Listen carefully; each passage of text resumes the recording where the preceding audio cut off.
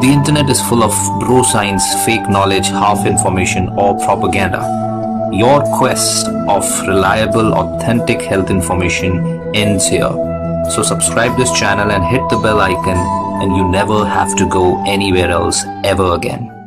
So, antibiotics and its resistance is a very big concern. बहुत ज़रूरी topic है देखिए एंटीबायोटिक अगर सही तरीके से यूज़ ना हो एंटीबायोटिक्स बहुत इंपॉर्टेंट चीज़ें हैं जो आपको बड़ी से बड़ी बीमारी इन्फेक्शन से बचा सकती हैं, ठीक कर सकती हैं, लेकिन अगर वो सही वक्त पे, सही जगह पे यूज़ ना हो इनकरेक्टली यूज़ हो तो फिर कई बार ये क्या करते हैं, कुछ बैक्टीरिया को चेंज करने पे मजबूर कर देते हैं, उनको अडेप्ट करने पे मजबूर कर देते उनको रेजिस्टेंट बना देते हैं। सो so, ये बदलाव अगर किसी भी बैक्टीरिया में आता है किसी भी तरीके का तो ये नया बैक्टीरिया जो बनता है ये पुराने वाले से और ज़्यादा स्ट्रॉन्ग हो जाता है और ज़्यादा रेजिस्टेंट हो जाता है और ज़्यादा खतरनाक हो जाता है। तो इसीलिए कई बार कई सारे एंटीबायोटिक फिर उन नए कीटाणुओं पे नए रेजिस्टेंट बैक्टीरिया पे काम नहीं करते।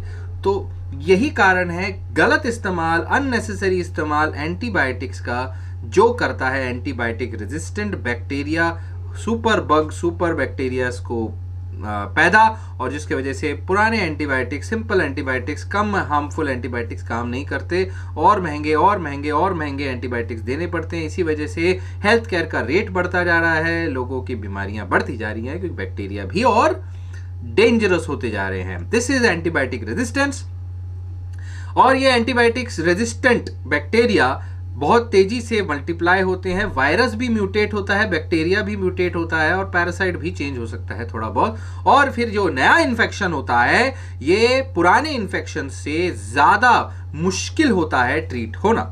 तो थोड़ी बातें आपको समझनी है कि एंटीबायोटिक बैक्टीरिया को मार देते हैं या फिर उनको ग्रो करने से रोकते हैं, दोनों में से एक काम करते हैं। या तो it might be bactericidal cidal मतलब मार देना या बैक्टेरियोस्टैटिक स्टैटिक मतलब रोक देना। तो बैक्टीरिया को रोकना, तब आपकी इम्यून सिस्टम आपके बैक्टीरिया को मार देती है या फिर बैक्टीरियोसाइडल तो आपके बैक्टीरिया एंटीबायोटिक खुद बैक्टीरिया को मारती हैं। ये दो तरीके के बैक्टीरिया होते हैं। रेजिस्टेंट बैक्टीरिया जो होते हैं, वो ग्रो करते जाएँगे एंटीबायोटिक के बावजूद। आप एंटीबायोटिक ले रहे हो, लेकिन आप पे कोई असर नहीं हो रहा बैक्टीरियल इन्फेक्शन बढ़ता जा रहा है। This is very very common problem her hospital में, हर नर्सिंग होम में बहुत कॉमन हो गया है। और इस वजह से नए नए एंटीबायोटिक बनाए जाएँगे, आपको दिए जाएँगे, महँगे महँगे होंगे। और ये एंटीबायोटिक अभी के लिए तो उस बैक्टीरिया को मार देंगे। लेकिन अगर अननेसेसरी में यूज़ होंगे, बहुत ज़्यादा मात्रा में यूज़ होंगे तो फिर यही काम वापस होगा, उस एंटीबायोटिक के साथ भी और बैक्टीरिया और ज़्यादा रेजिस्टेंट बनते जाएँगे। तो लेट्स टॉक अबाउट क्या क्या कारण है भैया एंटीबायोटिक रेजिस्टेंट के।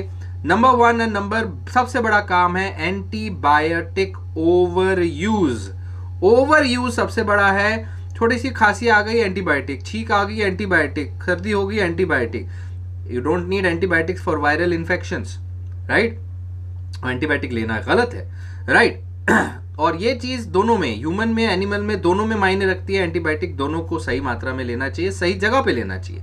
और कुछ प्रैक्टिसेस होती हैं, जैसे एंटीबायोटिक अननेसेसरी जगहों पे देना।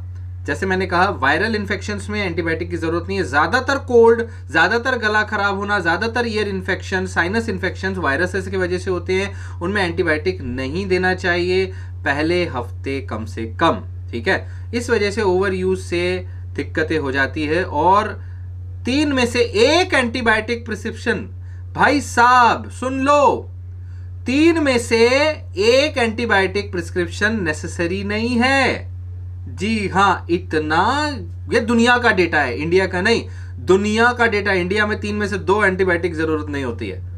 So this is how misuse of antibiotic overuse of antibiotic is happening so दूसरा प्रॉब्लम है not taking antibiotics as prescribed जी हाँ एंटीबायोटिक्स जब दिए जाते हैं, वो एक तरीके के जंग के मैदान में गए हुए आपके सैनिकों की तरह है। जब आपको पहले दिन में अगर कोई जीत मिलती है तो आप पूरा का पूरा फतेह करके आते हो, सही तरीके से जीत के आना चाहते हो। ऐसा नहीं करते कि पहले दिन जीत मिलती है चलो मैदान छोड़ के चलो वापस।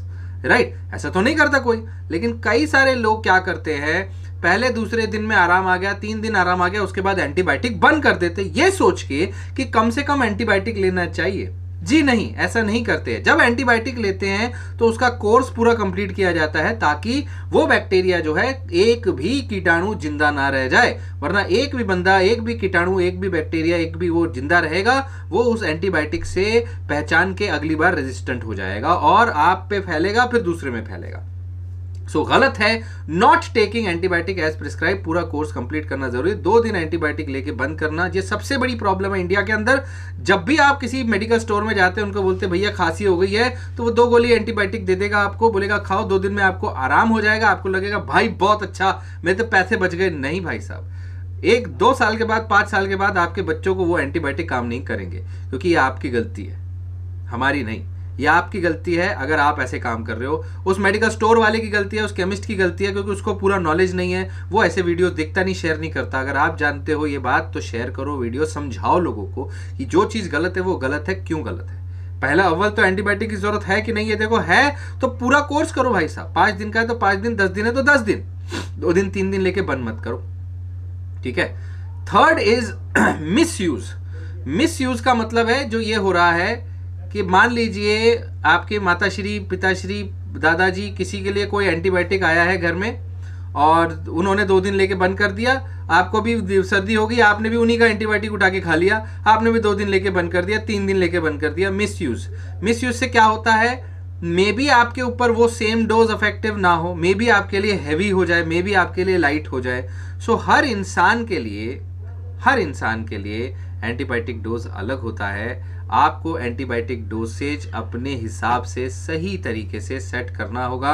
अगर आप डोसेज गलत तरीके से मिसयूज करेंगे तो ये बहुत ही बड़ी गलती होगी। ये बात आपको याद रखनी है।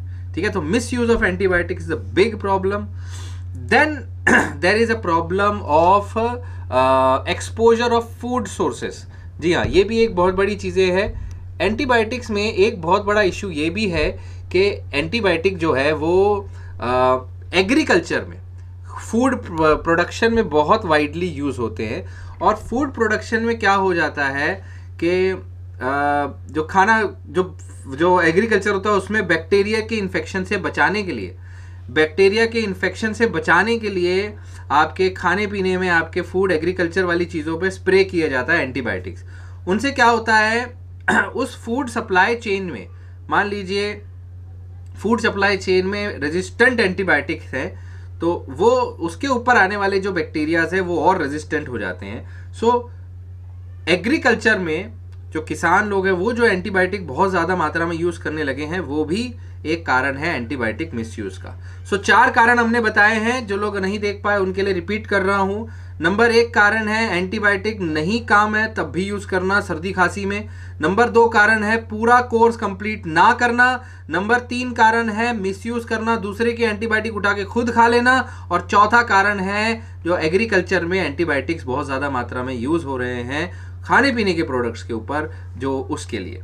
सो so, क्यों एंटीबायोटिक कंसर्न है बहुत बड़ा याद रखिए। अगर आपका एंटीबायोटिक रेजिस्टेंस होता रहेगा और आगे ऐसे ही रहता है तो आगे चल के दो साल पाँच साल दस साल बाद और स्ट्रॉन्ग एंटीबायोटिक्स की ज़रूरत पड़ने लगेगी। ये सारे आज के एंटीबायोटिक्स काम नहीं करेंगे। ये सारे स्ट्रॉन्ग एंटीबायोटिक्स के और ज़्यादा स्ट्रॉन्ग साइड इफेक्ट्स होंगे। तो आगे का इलाज साइड इफ़ेक्ट भरा होगा।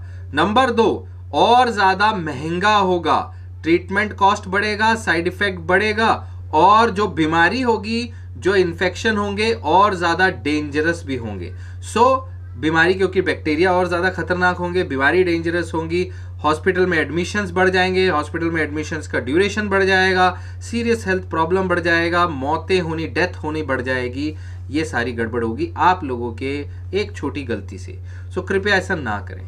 ये फैल रहा है क्योंकि एक पेशेंट दूसरे पेशेंट को ये सारी बातें नहीं पता होती है और हॉस्पिटल स्टाफ और इसमें भी कभी एक एक पेशेंट को गड़बड़ कर दी, उससे दूसरे को फैल गया, दूसरे से तीसरे को फैल गया हॉस्पिटल के अंदर भी फैल जाते हैं कई बार इन्फेक्शन सो अननेसेसरी ट्रीटमेंट्स ना हॉस्पिटल वाले करें, ना डॉक्टर्स करें, ना पेशेंट खुद करें तो केमिस्ट वालों से तो हाथ जोड़ के बिनती है, भैया डॉक्टर को डॉक्टर रहने दो, खुद डॉक्टर मत बनो right don't do that so antibiotic resistant spread bacteria animals से ह्यूमन में भी जा सकता है।